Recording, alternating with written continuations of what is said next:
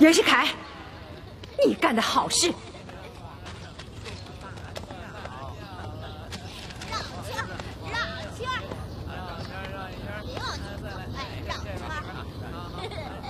竟有这种事儿！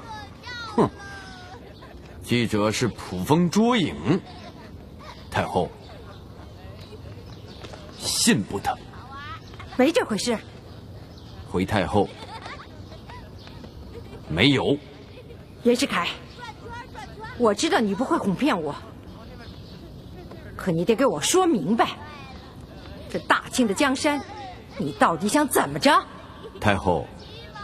依臣所见，革命党要求共和，我大清要君主立宪，长期以来本来就是这么着。这共和自然是不能答应，还要准备着打仗。不过咱大清的这君主立宪的要求，也不妨和革命党方面谈一谈。若是能和平解决。也免了生灵涂炭。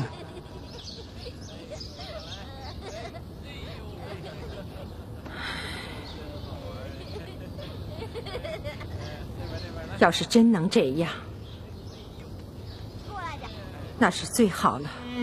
圣旨下，以袁世凯为全权大臣，委托代表持赴南方，讨论大局，钦此。引狼入室。我说摄政王，这样的好东西你还有多少？我虽然不再是摄政王，但要武装一个洋枪队，自信还做得到。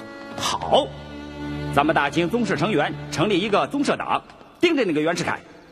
如果他要谈出个军宪，倒还罢了；如果他要谈出个共和，我第一个就饶不了他。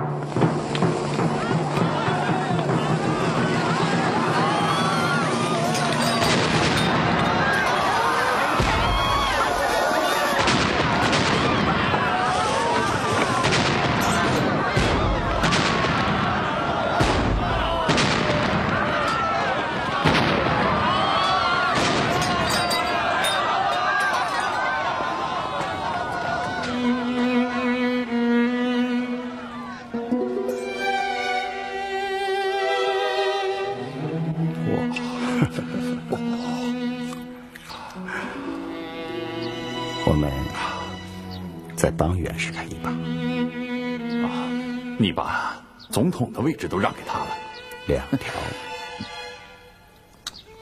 第一，他提出的满清逊位后的优待条件，答应他。第二，梁璧成立的那个满人宗社党的势力，要遏制他。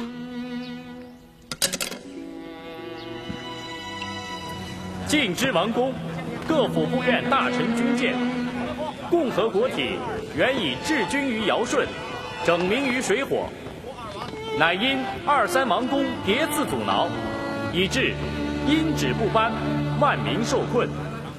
现在全局危迫，四面楚歌，暗杀之党林立，烧书防范，祸变急生，是陷九庙两宫于危险之地。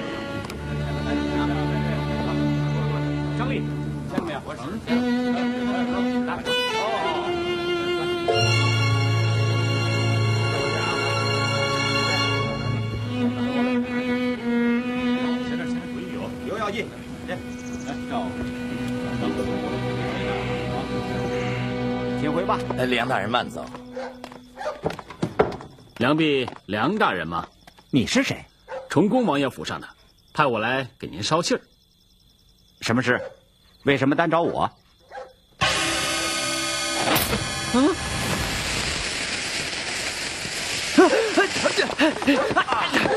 放开我！这放开我！你！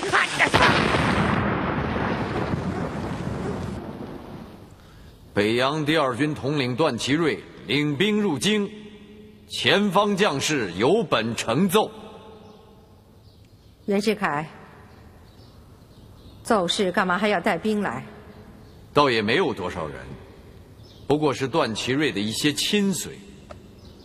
是你让他们来的？不是。北洋军不听你的吗？将在外，君命有所不受。臣以为，太后还是召见一下为好。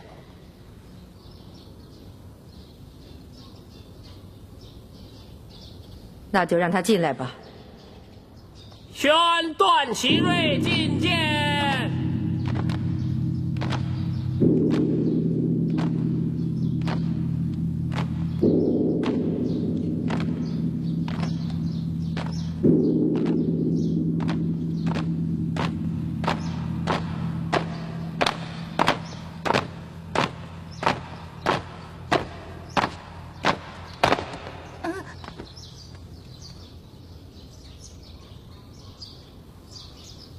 这是什么呀？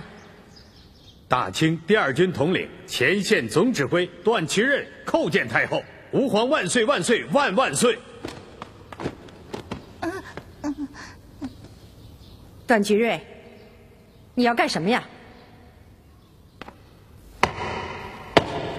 太后，我前线战士在前敌奋战，已是四月有余，亲眼目睹战火纷飞。百姓死于非命者，每日何止数万。我前线战士并不怕打仗，且以服从军令为天职。但这仗我们打得太窝囊。我大清要打仗，为的是君主立宪；革命党跟我们打仗，要的是民主共和。原来只是个国体之争。原来双方都是为了。救国，这种仗，我们为什么要打？我们听说，太后原本对共和军宪并无分书，无非是几个王爷坐视江山社稷之危而不顾，坐视百姓生灵涂炭而不救。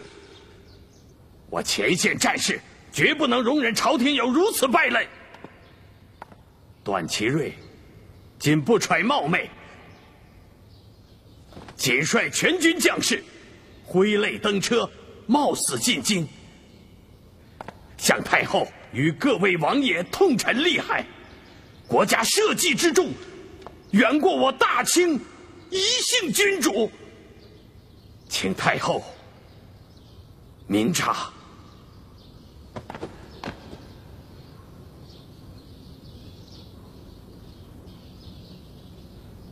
刚才你说什么？前线的士兵都到北京来了。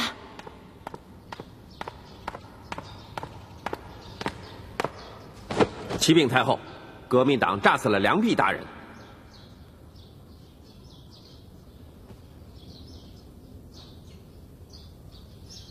袁世凯，臣在。我让你到北京来。是保我大清江山和我母子性命的。现在军队逼宫，这大清江山是保不住了。你孤恩负德，还有什么脸面见祖宗于地下？太后责备的是，微臣罪该万死。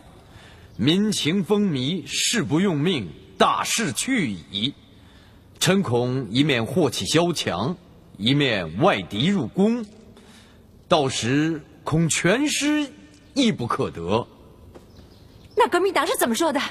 朝廷派出的谈判代表送来了革命党提出的条件。要是要是我大清逊位，他们将答应太后提出的一切优待条件。如此侮辱皇太后，臣已断然拒绝。先别拒绝，先别拒绝他，还是跟他们再谈谈吧。太后，臣以为已没有什么好谈的。古人云：“宁为玉碎，不为瓦全。”一死何难？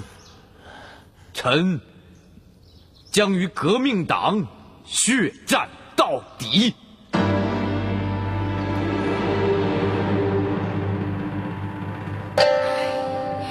袁世凯，你你少惺惺作态！你妈妈，你闪开！妈妈，王爷，去你！妈妈，哎哎呦，哎哎哎！哎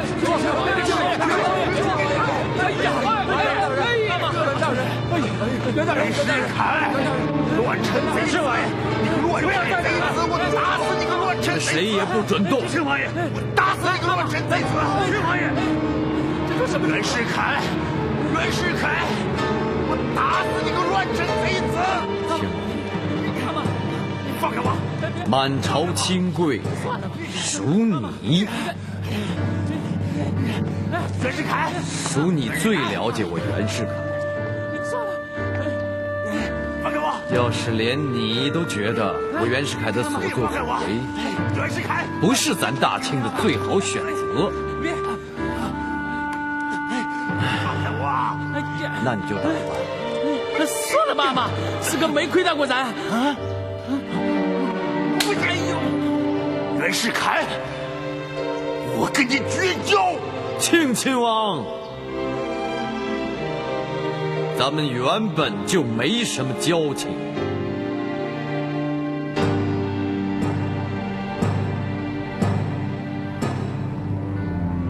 袁世凯，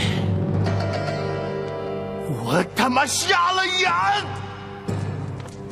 哼，阿玛，阿玛，亲爸爸，亲爸爸，亲爸爸，亲爸爸，亲爸爸，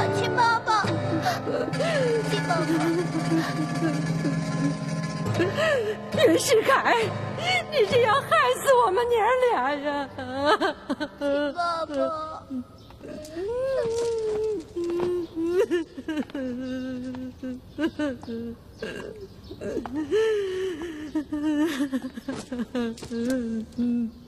臣袁世凯誓死捍卫皇上、皇太后的权益。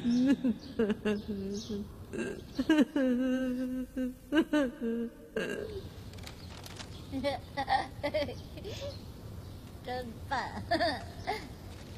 这优待条件的第一款，清帝逊位之后，尊号仍存不废，以待外国君主之礼相待。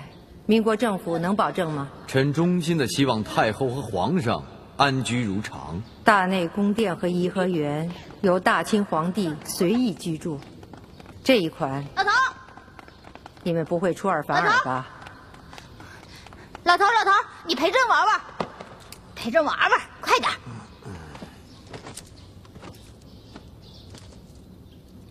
微臣叩见好皇上。了好了，平身，陪朕玩玩，快！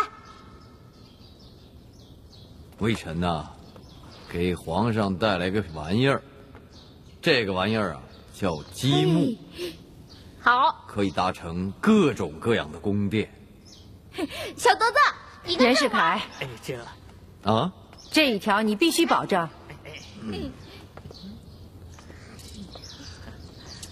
怎么把皇族个人已有的财产，要注明民国给予特别保护。民国政府已向全体国民宣誓，这私有财产神圣不可侵犯。太后，您和皇上何不与民同享这权利呢？那也好，剩下的就是你们民国政府。每年给我们多少费用了。哎，不不不不，不能往这儿搁，应该往这儿搁，这样搭出来好看。哦不不，太后，这个就搁这儿。加在一起，总共三百万两。不够，不当家不知柴米贵，这账得细算。就说每年穿衣服吧，哎，我来。哎，好，那我这非得放这个吗？啊总得两万两银子。可以，服饰服饰不能有服无饰。就说衣服上的饰品，总得两倍的用度吧。臣以为太多了。老佛爷当年一根金钗就是万两银子，那就依了太后。行了，有衣服就得有鞋帽，你说该多少啊？这个臣说不好。鞋帽是要经常换的，一年下来，嗯，这至少五千两银子。太后说多少就是多少。还有吃的呢，你到这总不能让我过苦日子吧？这一人一个胃，他能吃多少吗？真是好。还有太监呢，三千多个太监，一人一天一口，你说该多少啊？这以后没有了朝政，对对对，这么多太监，确实就没用。了。你个狗奴。才，踢死你！我打你！我打死你！你气死我了！你你干什么？你个狗奴才！你狗奴才！奴才死罪！你干的好事儿！奴才这个混蛋，都是你干的好事儿！皇上打！奴才死罪！奴才再给皇上打！奴才死罪！你你给我打上！你给我打！那他们上哪儿去啊？啊，还不得我养着？那就请太后说个数。十万两银子是最少的了。行，行，那就是十万两。还有取暖呢。太后，这么一笔一笔的算，得算到什么时候？臣增加个数，太后看如何呀？那得看加多少。在原定三百万两以外，你赔我再增加五十万两，一百万两，六十万两，一百万两，七十万两，不是这样，一百万两。这就搭好了，快快快！这这块，你看，你看，哎，马上就就这块。好，好，好，就依了太后。不对，总数一共是四百万两。这紫禁城内是我大清的天下，没有懿旨，谁也不准进来。连微臣也不准进来。你来干什么？你就要当大总统了。你进来，是你给我磕头啊，还是我给你磕头啊？永远是微臣给太后磕头。那为什么呀？啊，习惯了。我让您看，小德子，啊。那咱就说好，南海、北海、中南海归你民国，皇宫大内、颐和园归我大清。从今往后，咱们井水不犯河水。微臣遵旨。袁世凯，今儿是我四十寿辰，这出托孤救孤的戏。就这样演完了。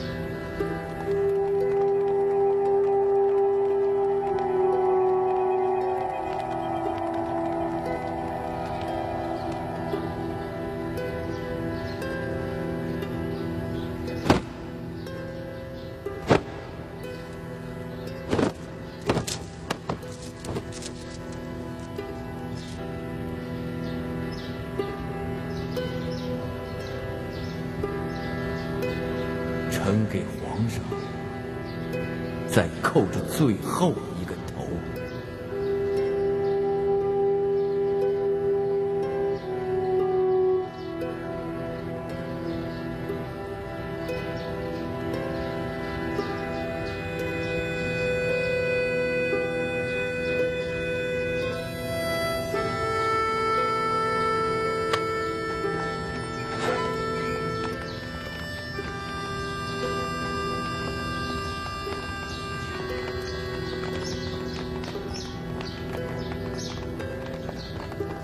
小德子，把皇上请过来吧。这，朕亲奉隆裕皇太后懿旨，前因民军起事，各省响应，特命袁世凯遣员与民军讨论大局，讨论政题。两月以来，尚无确当办法。今全国人民心里多倾向共和，南中各省既倡议如前，北方诸将亦主张于后，人心所向，天命可知。朕亦何忍因遗训之尊荣，服赵民之好恶，用事外官大事，内审于情，特将统治权公之全国，定为共和立宪政体，尽为海内厌乱妄治之心，远行。袁世凯，前经选举为总理大臣。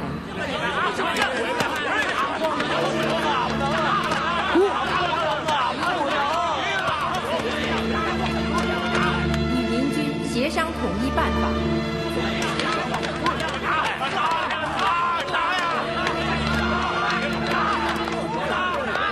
予以皇帝得以退处宽闲，悠游岁月，长受国民之优礼。亲见治治之告成，岂不异于钦此？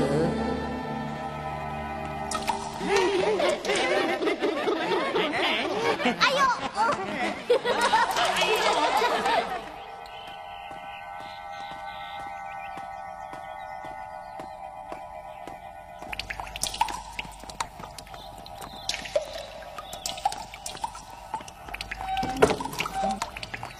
小德子，太后，小德子呢？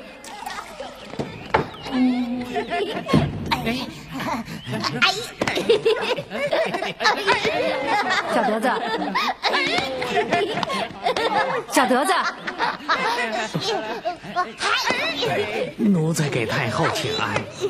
上朝的时辰到了，人都哪去了？就来了。皇上，别玩了，都给我举好了。坐这儿。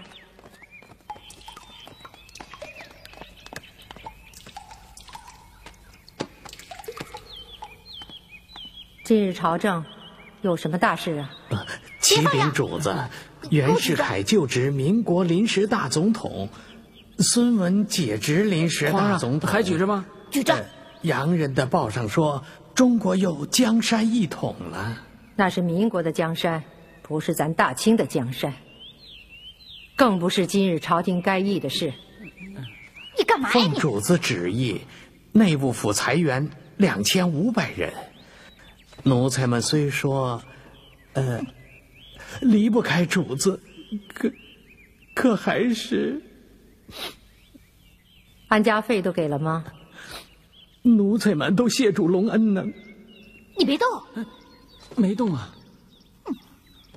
老佛爷当年没办成的事，别动，别动，咱们办成了。听见吗？别动啊。还有什么大事要奏的？还有就都是家事了，一切还是老样子，都是主子做主。那就议议家里的事吧。这太后今日的午膳是五十道菜，嗯，摄政王上了折子，说下午来给太后请安。别放在地上，举着。别动。差点忘了，今儿早上皇上起晚了，可太医说。皇上拉的屎，颜色很正常。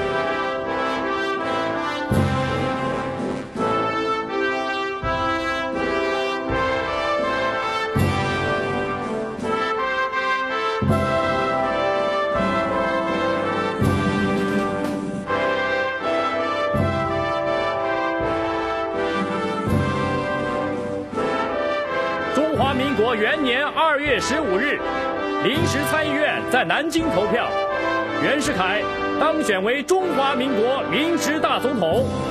查世界历史，选举大总统获全票通过者只有华盛顿一人。同仁深信袁公为世界第二华盛顿，我中华民国之第一华盛顿。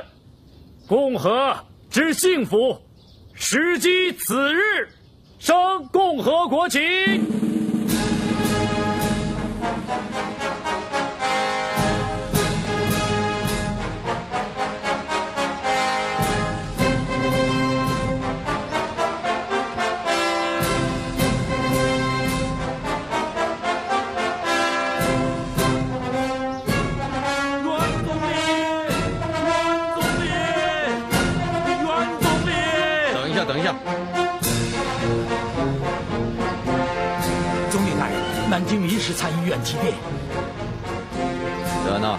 让乐队停下来。是。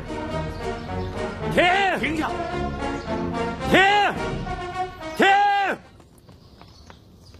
念。一，临时政府地点设于南京，各省代表所议不能更改。二，参议院举定的新总统亲到南京受任之时，孙大总统及国务各员耐心解职。三，临时政府约法为参议院所制定，新总统必须遵守。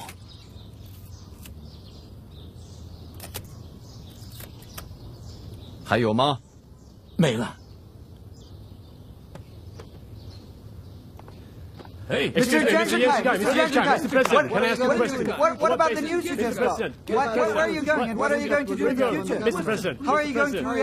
把那旗子给我降下来，把大清国龙旗升上去。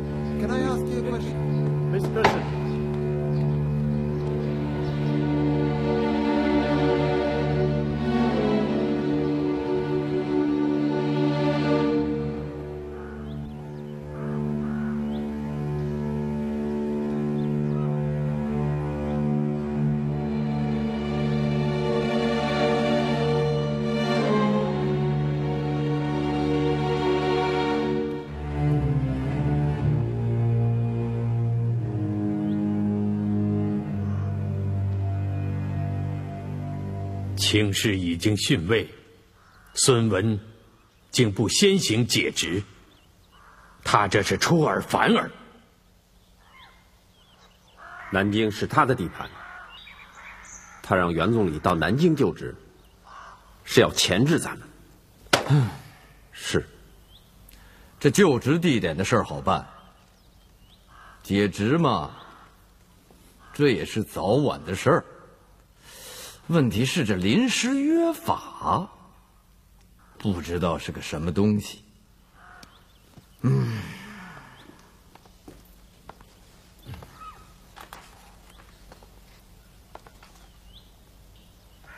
哼，大总统，大总统，我还是着急了点儿。这辫子剪下来容易，要是再长出来，那就难了。来人啊，给孙文发电报，把那个什么临时约法赶紧鼓捣出来。还有什么条件，赶紧提出来，别跟羊拉屎似的，哩哩啦啦没完没了。对了，把我那辫子给我拿着。孙先生，来点什么啊？来杯咖啡，还是咖啡啊？啊，对，要糖吗？随便。我不太看啊。来杯咖啡。南京。大总统，实不相瞒，临时政府设在南京，我投的是反对票。这没必要嘛？什么？没必要？怎么没必要啊？南京是共和圣地，北京是封建据点，让袁世凯到南京来就职，我看很有必要。反正啊，我投的是赞成票。反对也好，赞成也好，那是你们参议院的事儿。我就提出个建议。不过北京啊，确实不宜做共和国之都。哎，小姐，小姐，实在对不起，民国政府包了我们的酒吧，外人不能进啊。先生，实在我是记者，对不起，小姐。哎，记者不应该算外人的。真的。哎，罗文，罗文。哎，田默。外人不是。哎，来来来来来来，哎，听我说，听我说，下不为例。这怎么田记都是我们请的客人啊，小姐，下不为例，回来。老先生，下次就不能拦我了啊。哎，顿住。孙先生，这是田默田记者，请坐请坐。好。给他也来杯咖啡吧。加不加糖？我加点牛奶。我去要去。我自己去。不，你坐着。哦。孙先生，这酒吧比您的总统府还难进吗？这不奇怪，我管得了总统府，可管不了这个酒吧呀。哎，不会吧？普天之下莫非王土，这天底下还有你总统管不了的地方？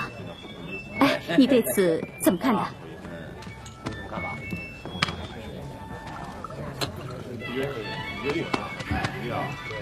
田洛小姐，说句实话，我呀，我很喜欢见到你。可是每次真要见到你的时候，我就头疼，因为你，你，你总是有这么多问题要要要 要要问我。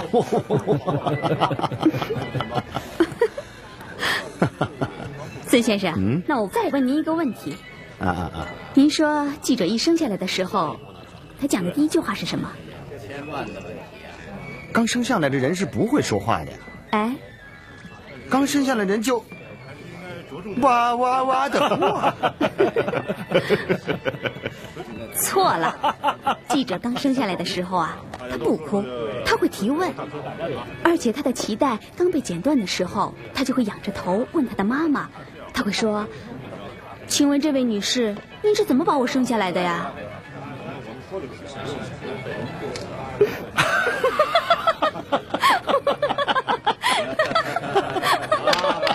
哎呀，不愧是记者的一张嘴。不对呀，笑什么？这咖啡味儿不错。好，田小姐，你允不允许我？向你提一个问题，您这可是反客为主，本末倒置啊！嗯，不过看在您这个柠檬的份上，我就允许大总统问一个问题吧。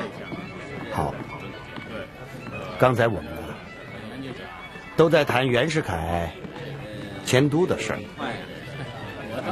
对此你有什么看法？时报记者只做客观报道，不发表主观评论的。嗯，我就请你做一次评论员，好吗？嗯，是这样。目前呢，关于袁世凯是否迁都的问题，各界呢莫衷一是。接着说。但是本报的观点是，袁世凯迁都的利弊是争不清楚的。可是这种决策呢，是临时参议院所做的。所以，只要袁世凯承认自己是民国大总统，而不是封建专制的大皇帝，那他就应该，而且必须要服从。讲得好。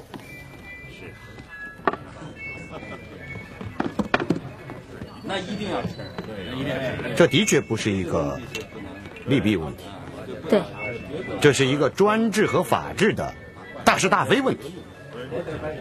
专制不用说了，它是个旧皮囊，必须抛弃掉。法治，它是个新生事物，国民还不熟悉，人民还很陌生。如今，专制方死，法治方生，就在这方生方死之间，一不留神，哎呀，嗨，旧制度，它就很容易复辟。你说是吗？没错。我要劳驾你啊，陈默。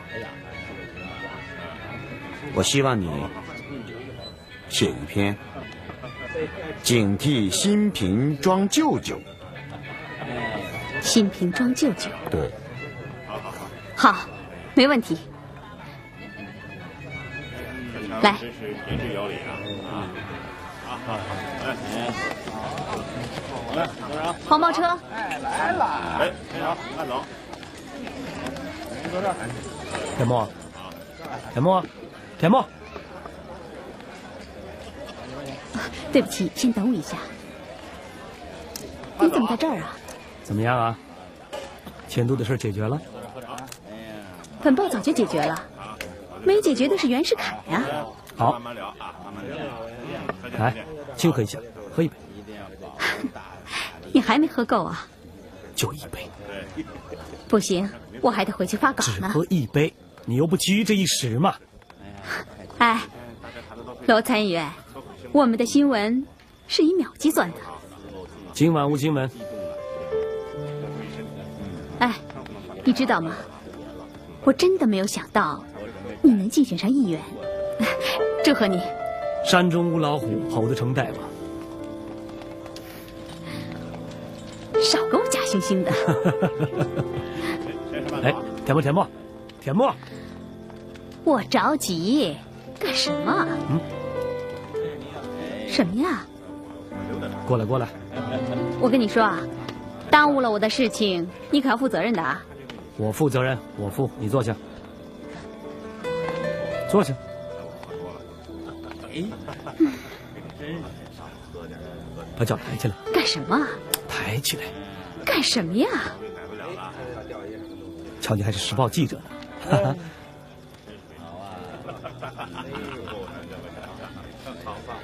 这要是一不小心绊倒了，可怎么办？啊？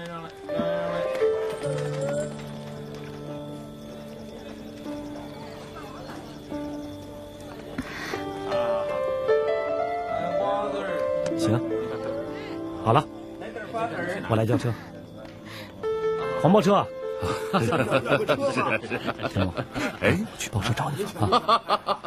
段初啊，他们前两天的戏文里唱的好啊啊！怎么说？一轮明月，一阵清风，一个才子，一位佳人。投降，投降，投降！罗爱啊，好，好，好，好，好。罗爱，这个民国的新女性啊，那比男人厉害，你得小心伺候啊。我已经小心伺候了，孙先生。我们已经研究了，派五个专使到北京，好，去欢迎袁世凯到南京就职。好啊，怎么样？那太好了。哎，我跟顿初去，你不去了，你呀留在南京，组个班子，在顿初起草的临时约法上再加润色，好吧？顿初，那就看你的了。